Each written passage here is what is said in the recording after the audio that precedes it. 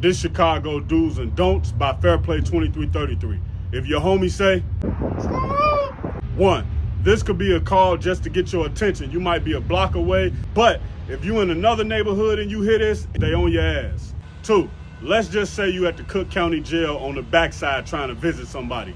When you hear a Mexican whistle, that means for you to get the safety, and I'm not gonna lie, man, Mexicans stick together.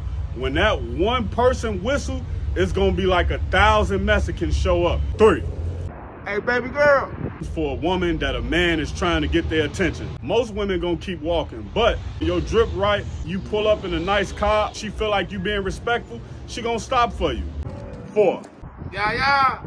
I've never had a person call me by saying yeah, yeah, and not ask to borrow something.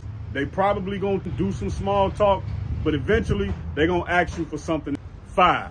Hey, check it out, Scud. There's two ways this can be used. Now, if you cool with the person who's saying this, they just trying to get your attention. They might want to put you on a play. But if you not cool with that person, they finna put feet and hands to you. No questions asked. Six. Check it out, G. Check it out.